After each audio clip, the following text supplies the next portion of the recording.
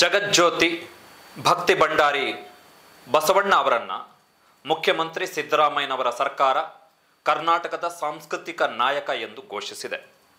ಸಿದ್ದರಾಮಯ್ಯನವರ ಸರ್ಕಾರದ ಈ ನಿರ್ಧಾರವನ್ನು ಪ್ರಶಂಸಿಸಿ, ಅಭಿನಂದಿಸಿ ಲಿಂಗಾಯತ ಮಠಾಧಿಪತಿಗಳ ಒಕ್ಕೂಟ ಮುಖ್ಯಮಂತ್ರಿ ಸಿದ್ದರಾಮಯ್ಯನವರಿಗೆ ಪತ್ರವನ್ನು ಬರೆದಿದೆ. ಅಭಿನಂದಿಸಿ, ಧನ್ಯವಾದವನ್ನು ಸಲ್ಲಿಸಿ ಪತ್ರವನ್ನು ಬರೆದಿದೆ. ಆ ಪತ್ರದಲ್ಲಿ ಏನಿದೆ?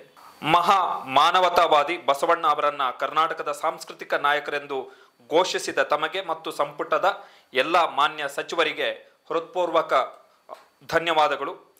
ವಿಶ್ವಗುರು ಬಸವಣ್ಣನವರು ಜಗತ್ತಿಗೆ ಬೆಳಕಾಗಿರುವ ಕನ್ನಡದ ಕುಲಗುರು, ಕನ್ನಡ ನಾಡು ನುಡಿ ಸಾಹಿತ್ಯ ಸಂಸ್ಕೃತಿಯ ಹಿರಿಮೆಯನ್ನು ಹೆಚ್ಚಿಸಿದ ವಚನ ಚಳುವಳಿಯ ನಾಯಕರು, ಜನಭಾಷೆಯೇ ದೇವಭಾಷೆಯನ್ನಾಗಿ ಮಾಡಿದ ಮಹಾನ್ ಕನ್ನಡಿಗರು.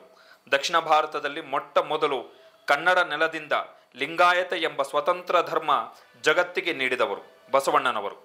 ಅನುಭವ ಮಂಟಪದ ಮುಖಾಂತರ ವಿಶ್ವಕ್ಕೆ ಪ್ರಜಾಪ್ರಭುತ್ವ ಪರಿಕಲ್ಪನೆ ಕೊಟ್ಟು ದೀನ ದಲಿತರಿಗೆ, ಅಸ್ಪೃಶ್ಯರಿಗೆ, ತುಳಿತಕ್ಕೆ ಒಳಗಾಗಿರುವ ಎಲ್ಲರನ್ನ ಇವ ನಮ್ಮವ ಇವ ನಮ್ಮವ ಇವ ನಮ್ಮವ ಎಂದು ಅಪ್ಪಿಕೊಳ್ಳುವ ಮುಖಾಂತರ ಸಮ ಸಮಾಜ ಕಟ್ಟಿದವರು.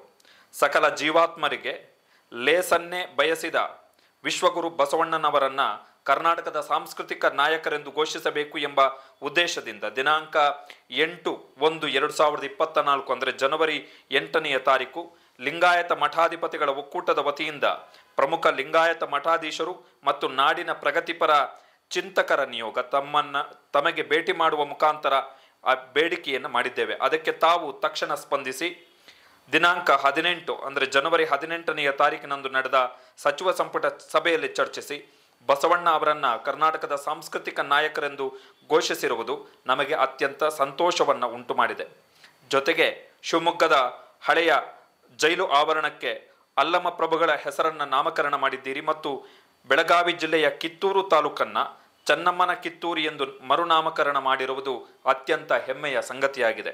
ತಮ್ಮ ಸರ್ಕಾರ ಬಸವಾದಿ ಶರಣರ ಸಮ ಸಮಾಜ ನಿರ್ಮಾಣದ ದಿಸೆಯಲ್ಲಿ ನುಡಿದಂತೆ ನಡೆಯುತ್ತಿದೆ.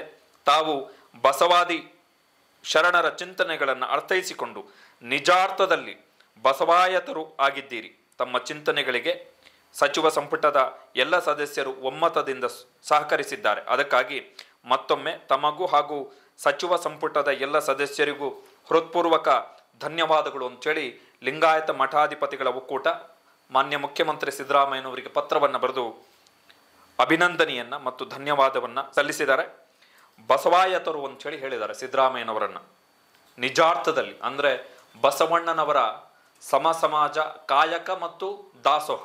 ಅಂದರೆ ದುಡಿಮೆ ಮತ್ತು ಸಂಪತ್ತಿನ ಸಮವಿತರಣೆಯ ಚಿಂತನೆಯನ್ನು ಬಸವಣ್ಣನವರು ಏನು ತಮ್ಮ ತತ್ವದ ಮುಖಾಂತರ ಪ್ರತಿಪಾದನೆಯನ್ನು ಮಾಡಿದ್ರು. ಆ ತತ್ವವನ್ನು ಯಥಾವತ್ ಜಾರಿಗೊಳಿಸ್ತಾ ಇದ್ದೀರಿ ಅಂತೇಳಿ ಸಿದ್ದರಾಮಯ್ಯನವರಿಗೆ ಲಿಂಗಾಯತ ಮಠಾಧಿಪತಿಗಳ ಒಕ್ಕೂಟ ಮನವಿಯನ್ನು ಮಾಡಿರುವಂಥದ್ದು. ಲಿಂಗಾಯತ ಮಠಾಧಿಪತಿಗಳ ಒಕ್ಕೂಟದ ಅಧ್ಯಕ್ಷರು ಡಾಕ್ಟರ್ ಬಸವಲಿಂಗ ಪಟ್ಟದೇವರವರು ಮುಖ್ಯಮಂತ್ರಿ ಸಿದ್ದರಾಮಯ್ಯನವರಿಗೆ ಪತ್ರವನ್ನು ಬರೆದು ಅಭಿನಂದನೆಯನ್ನು, ಧನ್ಯವಾದಗಳನ್ನು ತಿಳಿಸಿದ್ದಾರೆ.